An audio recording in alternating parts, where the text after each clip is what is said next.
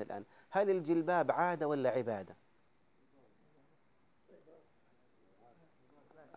هذا الوين هذا يقول عادة. طيب ممتاز. ممتاز.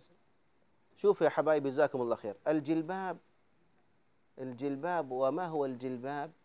الحقائق ثلاثة. حقيقة لغوية وحقيقة شرعية وحقيقة عرفية. هذه الحقائق الثلاثة كما ذكر أهل الأصول. أصول الفقه. الجلباب ذكر في الكتاب والسنة وعند العرب فثبت حقيقة لغوية وحقيقة شرعية وحقيقة عرفية. طيب نأتي في أدلة القرآن. يا أيها النبي قل لأزواجك. ما حدش يا أخوان يتكلم لو سمحت keep silent keep silent لو سمحت. قل لأزواجك. لو سكتت الآية على كده نقول الأمر هذا خاص بمين؟ بأزواج النبي. اكتملت الآية. وبناتك لو سكتت على كده كنا نقول هذا خاص بالإيش؟ بعيلة النبي عليه الصلاة والسلام. ونساء المؤمنين إذا دل هذا على إيش؟ إن الأمر هذا المين للكل. وهو عطف فيه العام على الخاص. العام فين هنا؟ أين العام والخاص هنا؟ النساء دول إيش؟ عام. والخاص مين؟ أزواجك وبناتك. فلماذا عطف العام على الخاص؟ لعظيم شأن المسألة القادمة. ولماذا بدأ بأزواج بنات النبي ليكون قدوة عليه الصلاة والسلام؟ لقد كان لكم في رسول الله أسوة حسنة. يا أيها النبي قل لأزواجك وبناتك ونساء المؤمنين يدنين عليهن من جلابيبهن. ذلك أدنى أن يعرفن فلا يؤذين وكان الله غفورا رحيما. الأحزاب. والغريب يا إخواني ما ذكرت آيات آيات الحجاب إلا في سور يذكر فيها المنافقون. لأنه ما يعارض الحجاب أو يحارب الحجاب إلا أهل إيش؟ النفاق والعياذ بالله مع بقية إيه؟ الآخرين. تأمل. آيات الحجاب جاءت في سورة النور. وليضربن بخمورهن على جيوبهن. وجاءت في سورة إيش؟ الأحزاب. وفي كليهما ذكر من؟ المنافقون. هناك أبي بن سلول في حديثة الإفك وهنا لئن لم ينتهي المنافقون والذين في قلوبهم مرض والمرجفون في المدينة لنغرينك بهم ثم لا يجاورونك فيها إلا قليلا. إذا ذكر الجلباب هنا في القرآن ولا ما ذكر في القرآن؟ طيب. حديث الصحيح النبي عليه الصلاة والسلام أمر النساء وذوات الخدور والحيض أن يخرجن لصلاة إيش؟ العيد. قالت أم عطية يا رسول الله. وأمرهن بالإيش؟ بالجلباب. إن إحدانا ليس عندها جلباب. قال فلتعطيها أختها من جلبابها. إذا ثبت بالسنة ولا ما ثبت؟ تعالوا عند العرب. قال الشاعر تمشي النسور إليه وهي لاهية مشي العذار عليهن الجلابيب. وجه الدلالة مشي, مشي العذار عليهن الجلابيب. وقال الشاعر الآخر واكتسى الشعر منه قناعا أشهبا أكره جلباب لمن تجلبب. يقول لك لما تكبر كده الشعر ده بيكتسي إيش؟ شهاب قناعا أشهبا إيش هو يقصد بقناعا أشهبا الشيب. أكره جلباب لمن تجلبب. وجه الدلالة في البيتين أن الجلباب يوضع فين؟ الله يرضى عليكم. يوضع فين؟ يوضع على الرأس. هذا هو. تعال عند الجوهري وعند الفيروزبادي وعند ابن فارس معجم مقيس اللغة وعند أهل اللغة. قالوا والجلباب هو ما يلبس فوق الملابس التي تكون تحته وهي الملاءة التي تكون من الرأس إلى أخمص القدمين. إذا العباية اللي على الكتف هذه ما هيش إيش؟ ما هيش جلباب. والمرأة إن لبستها دخلت في التشبه. لأن لبأس المرأة لابد له من ثلاث صفات أيها الكرام الفضلاء. أن يكون كاسيا مغطيا للمرأة عورة. وأن لا يكون واصفا.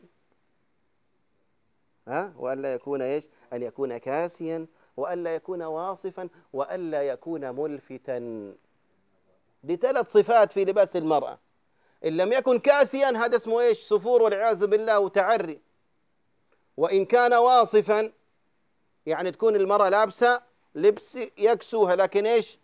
ضيق هنا ومتخصر وفراشة وطراشة وإلى آخره يكون هذا اسمه تبرج.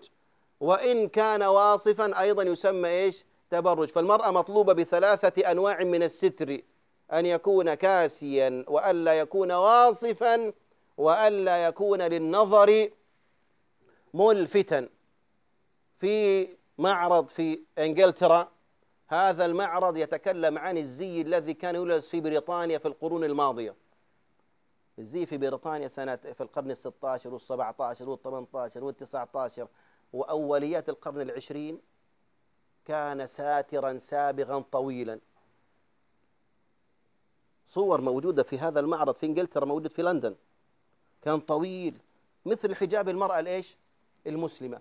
طب إيش اللي واسع وفضفاض ويجر في الأرض لا كان الوجه ما عندهم شو نصارى فهمتني؟ لكن كانت المرأة تغطي شعرها سواء كانت من ال pastors من القسس والرهبان ولا كانت امرأة عادية وحتى الآن الدوقة مش عارف مين وفين واليزابيث كده برضو عندهم نفس بيجوا على نفس الكلام دول يلبسوا اللباس إيش؟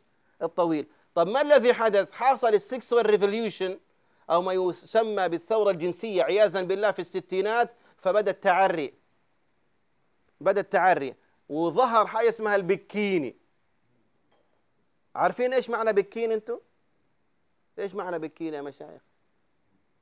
The meaning of بكيني؟ طيب أنا أقول لكم بكيني هذه منطقة المنطقة دي كانت تجرى فيها تجارب الأسلحة النووية يعني تعمل great great great explosion انفجار ضخم. فاللي عملوا والعياذ بالله ال clothes هذه المتعريه عارف إنها حتعمل انفجار فين؟ فين؟ في المجتمع. فعشان كده سماها إيش؟ بكيني نسبة للمنطقة اللي بيسووا فيها انفجارات الايش التجارب النوى النووية. وظل هذا اللباس يقاوم خمسة عشرة سنة. لحد ما عملوا أغنية اسمها بكيني وكيني جايبين عيال صيع عافانا الله وإياكم جالسين يغنوا وجايبين بنت كده حاطينها جوا علبة كده آه، جوا بيت والبنت من طالعة من ورا الستارة ها وعندها نوع من الحياء عمرها خمس سنوات وعندها حياء كبير ويغنوا يغنوا يغنوا يغنوا طبعا في المسرح لين في الآخر أدوها كده حماس وعملوا لها سبورتد وتعضيد لحد ما قطعت الستارة وطلعت وهي الناس كل يشوفوها لابسة قطعتين والعياذ بالله البكين اللي متكون من هذا القطعتين الله يعافينا وياكم الاندرويل والبرا. نسأل الله السلامة والعافية والناس كلها تصفق ومن ساعتها ظهر هذا التعري. عرفتوا التاريخ يا مشايخ؟ هذه القصة وما هذه القصة وما هي قصة البكين مثل هذه الأشياء. فالجلباب ثابت ليس عادة إنما ثابت بالكتاب والسنة وباللغة وما عرفه العرب وهو عبارة عن ذلك الذي يكون من عباية من الرأس وتكون إلى أسفل وهذا تكون فوق الجلبية اللي بتلبسها أو فوق العباية اللي على الكتف التي تلبسها المرأة. واللون الأسود هذا من السنة. تقول عائشة كنا نساء كالغراب الأسود لا يرى منهن شيء. لأن في واحد طالع في القنوات قال لا يمكن لما نقول هذا رجل كالثلج الأبيض معناه أنه ممكن نقول لا. عائشة وضحت قالت لا يرى منهن إيش؟ شيء معناه أنه غاطين حتى إيش؟ الوجه. بل قالت في آية النور وليضربن بخمورهن على جيوبهن. قالت رحم الله. نساء الأنصار لما نزلت الآية شوف من شدة الاستجابة ال quick response قالت قطعنا مروطهن فغطينا وجوهن فلم تبن إلا عينا إيش؟ إلا عينا واحدة. ويقول الشيخ بن عثيمين لو جئنا وتنزلنا مع الذين يرون بعدم غطاء الوجه فنقول ربنا يقول ولا يضربن بأرجلهن. يقول أيهما أكثر فتنة الرجل ولا الوش؟ فإذا أمر بالتستر في الرجلين من بأول أن تمر التستر فين؟ أن تمر بالتستر في في الوجه. أنا حببت أن أقول على مثل هذه المناسبة جاءت فلما تخرج المرأة تخرج وهي تفلة. قال عليه الصلاة والسلام لا تمنعوا إماء الله مساجد الله ويخرجن وهن تافلات. أنا أرى الآن ولعل صوتي يصل أن في بعض المساجد التي فيها صلاة الجنازة يأتي الرجل بزوجته لصلاة الجنازة. ما في مانع يقول الشيخ بن باز ولا مانع أن تصلي المرأة على الجنازة إنما يمنع من اتباعها وزيارة المقابر. لكن هنا عندي وقفة. فتوى الشيخ بن باز نعم صحيحة وصائبة لكن الشيخ ماذا قال؟ قال وتخرج بسترها وحجابها. أغلب ما نرى الآن نرى أن نساء يخرجن متبرجات ويخرجن بعضهن سافرات ليصلين على إيش؟ على الجنازة. نقول هذا فرض كفاية على الرجال فضلا عن إيش؟ عن النساء. فينبغي أن تخرجي من أجل السنة فلا تضيع إيش؟ لا تضيع الواجب ولا تضيع الفرض وينبغي لكل ولي أمر أن يحرص لزوجه على على